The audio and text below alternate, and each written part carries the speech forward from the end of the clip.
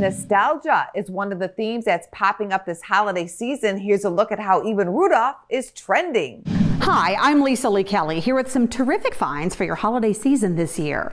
Let's face it, 2020 is a year like no other. So how do we continue holiday traditions or perhaps start new ones during a pandemic? Well, my first find is this little guy. This is Reindeer in Here. And this one comes as a gift for kids before Christmas, which of course they will love. And it includes this fuzzy little reindeer and also a book. Now, this reindeer will not be tattling to Santa like that elf on the shelf. Instead, this reindeer will be sharing their Christmas wishes with Santa. A dad in California created this so that his kids would have a positive Christmas tradition.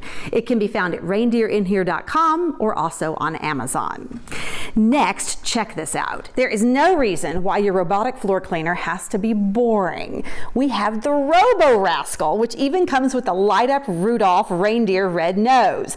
Your kids and your pets alike will love watching this little guy pick up holiday crumbs and pine needles.